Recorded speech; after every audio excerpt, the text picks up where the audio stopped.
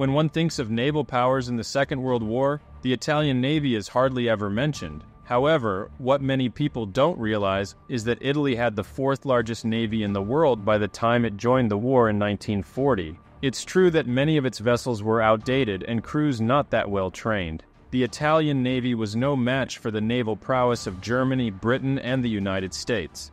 Nevertheless, the Italian Royal Navy, or Marina Reale, was still large and a force to contend with. That included its submarine division. Most notable was the Italian submarine base that was set up in the German occupied French city of Bordeaux, known as Beta. In this video, we'll take a close look at this Italian base and how it contributed to the Axis naval effort in the Atlantic Ocean and further afield. The seed for what would become Beta was the signing of the Pact of Steel between Italy and Germany on June 20th, 1939, in the German town of Friedrichshafen. Signed between the commander of Germany's Kriegsmarine, Admiral Erich Raeder, and Italy's Chief of Staff of the Marina Reale, Admiral Domenico Cavagnari, the agreement was an Axis naval pact between the two countries in the event of war. An important part of the agreement was that Germany would help Italy set up a submarine base in a German occupied country when war broke out. By June 1939, war was almost inevitable, and the Germans wanted Italy's subs to help out, even if they were inferior in number and technology compared to Germany's famous U boats. For the Italians, it was a way to ensure access to German technical know how about submarines, which at that time was the most advanced and feared in the world. Italy joined the war on Germany's side in June 1940, some nine months after Germany invaded Poland. Soon thereafter, it was decided that the Italian submarine base should be headquartered in the river port city of Bordeaux in the southwestern French region of Aquitaine. By then, France was occupied by Germany. The code name for the base would be Betasom. Often referred to as an acronym, the name Betasom is actually a portmanteau or combination of two words. Beta refers to the Greek letter B, which is the first letter of Bordeaux, while Somme represents the first three letters for the Italian word for submarine. Admiral Angelo Parona was chosen to be the Italian commander at Beta Somme. Parona and the entire base would be under the direct operational control of the legendary German Rear Admiral, or Konter Admiral Karl Dönitz. At that time, Dönitz was Germany's commander of the submarines, or Befehlshaber der U-Boote and already one of Adolf Hitler's favorites. Betasom was officially launched on August 30, 1940. The base had dry docks and two basins connected by locks, which could accommodate up to 30 submarines.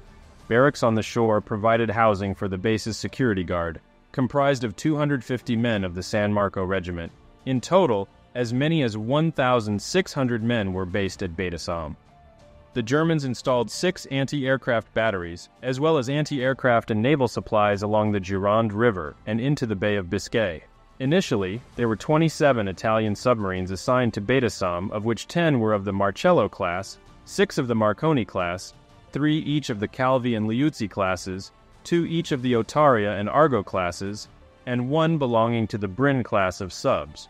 The base itself was large and quite impressive, Betasom even had its own postage stamps, which were overprinted Italian stamps and which are today extremely rare and all too often counterfeited. A second base was later established at La Pallice in the port city of La Rochelle, also in Aquitaine and approximately 200 kilometers or 125 miles north of Bordeaux. The base at La Pallice allowed for submerged training, which was not possible in the shallow waters of Bordeaux. The first directive for the Italian submarines was that they patrol the waters of the Atlantic Ocean south of Lisbon, Portugal. These operations would include three Italian subs patrolling off Spain's Canary Islands and Portugal's island of Madeira, while another three subs would patrol off the Portuguese islands of the Azores further to the west. It's worth noting that, although both Spain and Portugal were technically neutral during World War II, both were headed by fascist dictators who were only too happy to assist fascist Germany and Italy where possible. Initially, the Italian submarines had proven mostly unsuccessful in their operations. Several issues relating to the Italian submarines became apparent within months of their operation in the Atlantic. These shortcomings included the following the Italian submarines took too long to submerge, they were often too slow, their huge conning towers were all too easy for enemy vessels to spot, Italian commanders and crews were not trained for tracking convoys. and their submarines were not made for the rough, often treacherous conditions of the North Atlantic Ocean. Italian submarines often sighted Allied convoys but all too quickly lost contact and seldom provided meaningful intel for the Germans back at base. The Italian subs were simply nowhere as fast or technologically advanced as Germany's U boats, and the Italian crews were woefully undertrained for the often volatile conditions of the Atlantic Ocean. They were used to the calmer waters of the Mediterranean Sea, Italian crews were also considered to be ill disciplined, a view held by no less than Karl Dönitz, whose opinions of the Italian base at Betasom we will now briefly explore. Initially, Dönitz knew the limitations of Italy's submarine forces, but he was pragmatic about that. Although the Italians were inexperienced in Atlantic warfare, he still thought their submarines could be useful for the purposes of intel gathering and reconnaissance. That's why Dönitz ordered that the Italian submarines patrol the waters to the south of the far more heavy action occurring in the North Atlantic. Dönitz was known to consider the Italians as possessing what he called great dash and daring in battle, even surpassing that of his own German submariners. But he also believed the Italians to be less physically tough and mentally tenacious when compared to German crews. He was also very dubious of just how much the Italians could help the U boats, for example, he believed their submarines to be unsuited for the Wolfpack tactics that he strongly favored for his U boats. What Dönitz thought of the Italians was very important, given that he was so highly regarded by Hitler and that Beta was under his direct command. Unsurprisingly, his views and hands on control of Beta was resented by many in Italy's Admiralty back in Rome. Dönitz did think highly of the base's Italian commander, Angelo Parona, considering him to be an intelligent and brave leader. However, this admiration of Parona was not shared by key admirals in Italy's naval command, or Supermarina, who did not like how harsh Parona was with his submarine commanders. Nor did they appreciate how much Parona admired the Germans. By the end of November 1940, it was clear that Italian submarines in the Atlantic were way behind what the U boats were achieving. For example, Italian submarines were averaging a rate of 200 gross tons of sunken vessels per day, compared to the 1,115 gross tons per day being achieved by German U boats. Angelo Parona, feeling the lack of respect from the Germans, knew the Italian submarines were underperforming, and so he decided action had to be taken. Measures he took included getting rid of many of the older submarine commanders, many of whom were over 40, and replacing them with much younger and more aggressive commanders. He also set up a submarine school at Gotenhafen in Germany, in what was then German occupied Poland and today is the city of Gdynia. At the school, the Betasom crews undertook rigorous training in accordance with the German model. He even got the Italian subs to be redesigned, including a reshaping of their conning towers, which were far too large. Parona's measures paid off with significant improvements by the Betasom submarines, the first real success was an operation by seven Italian submarines off Gibraltar, in which six Allied ships were sunk. Stats shot up. An average tonnage sinking rate by Betasom submarines of just 3,844 gross tons in 1940 rose nearly ninefold to 27,335 gross tons in 1942. In fact, by 1942 and 1943, the number of gross tons for every Italian submarine that was sunk was greater than that achieved by every German U boat sunk, particularly in 1942. Parona, even with his successful improvements, was replaced by Romolo Polacchini in April 1941 as head of Betasom. Parona had proven too unpopular with most of his submarine commanders, not to mention many of the admirals in Rome. Polacchini proved a more popular commander of the base, and certainly oversaw the most successful period of the Betasom submarines.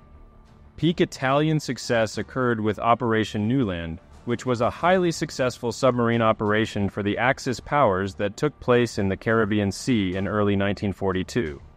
Initially, five Italian submarines, namely the Enrico Tazzoli, the Giuseppe Finzi, the Leonardo da Vinci, Luigi Torelli, and the Morosini, were sent out in January 1942 by Betasom Command. Their mission was to hunt down Allied traffic in the region of the Caribbean between Florida and the Bahamas. This was a backup to the larger scale U boat operation in the region. The Italian mission lasted until April 1942, with the five Italian submarines sinking 16 Allied merchant ships. The Enrico Tazzoli was the most successful with its sinking of six vessels alone. After that, the submarine Calvi went on a 52 day patrol of the waters off Brazil, in which it sank five Allied ships. Italian submarines had come a long way in the Battle of the Atlantic. Of all the Italian commanders based at Betasom, Carlo Fecia di Cossato and Gianfranco Gazzana Priaroggia were the most successful, sinking 96,553 and 90,601 gross tons of shipping, respectively. The two men were also among the few Italian recipients of Germany's prestigious Knight's Cross of the Iron Cross. The Leonardo da Vinci, which was helmed by Gazzana Priaroggia, was the top scoring non German submarine of World War II. It sank 17 ships with a total of 120,243 gross tons. Notable too was another commander, Salvatore Todaro, who was also based out of Betasom. He was renowned for his habit of towing lifeboats containing survivors of ships he had sunk back to safety. Unsurprisingly, the Betasom base was repeatedly bombed by British aircraft during 1940 and 1941. This resulted in little damage to the facility, apart from the sinking of the barracks ship, the Usaramo. The beginning of the end of Betasom came more as a result of German pressure to use the base for its own U boats. It was decided that the remaining Beta Somme submarines would be better deployed, carrying supplies to and from the Far East. Italian submarines were larger than U boats, and therefore far better equipped to serve as cargo vessels. Seven Italian subs were retrofitted for this purpose in the Far East, namely the Alpino Bagnolini, the Barbarigo, the Comandante Cappellini, the Giuseppe Finzi, the Reginaldo Giuliani, the Enrico Tazzoli, and the Luigi Torelli. In an interesting bit of negotiation between the two countries, Italy agreed to let the Germans use their seven submarines in the Far East in exchange for an equal number of Type 7C U boats, these U boats would be manned by Italian crews to continue Italian participation in offensive operations in the Atlantic. The surrender of Italy to the Allied forces on September 8, 1943, known as the Armistice of Cassibile, would be the end not only of Beta but all Italian submarine operations. Immediately, the Germans retook possession of the seven U boats they had loaned to the Italians, all of which were in training in the then German port of Danzig. The Germans also took full control of what was the Betasom base. Of the seven Italian transport submarines, the Japanese captured three of those subs. The Germans seized two of them docked at what had been the Betasom base in Bordeaux, and the remaining two had been sunk by the Allies. The last remaining Italian submarine still on patrol at the time of Italy's surrender was the Ammiraglio Cagni, which also happened to be the newest Beta submarine. Rather than being seized by the Germans, its commander decided to break from its patrol and set course for the port city of Durban in South Africa. Once it reached Durban, it immediately surrendered to South African forces. It's worth noting that the Italian sailors still at the Betasom base, when Italy surrendered, faced a grim choice either join the German U boat division, or prepare to go to a German labor camp, or even face execution. It makes sense that Italian submarines were most effective against merchant ships. Italian torpedoes were smaller in diameter than those used by U boats. These torpedoes were not effective against large warships, but more than adequate for sinking merchant vessels. So, how did Italy's total of 172 submarines fare during the Second World War? Their stats, although nowhere near as impressive as those of U boats, are still worthy and include 1,750 missions undertaken, covering a collective total of 2,500,000 miles and 24,000 days at sea. Italy's submarines engaged in 173 active attacks, in which 132 merchant vessels were sunk, totaling 650,000 gross tons, while a further 18 warships were sunk with a total of 29,000 gross tons. Today, the site of the Betasom base is open to tourists in the city of Bordeaux. Unlike many other wartime sites, the Betasom site has been left almost unchanged, making it a fascinating place to visit for those interested in World War II. Many of those who visit are probably unfamiliar with the role that Italy played in the submarine warfare of the Atlantic. 16, or exactly half, of the total of 32 Italian submarines that were based at Betasom sank in the Atlantic Ocean, it was a heavy toll paid by a country whose submarines and crews were ill equipped for operations in the Atlantic. In the end, the valor and commitment of those Italian crewmen, like so many other submariners, deserves respect.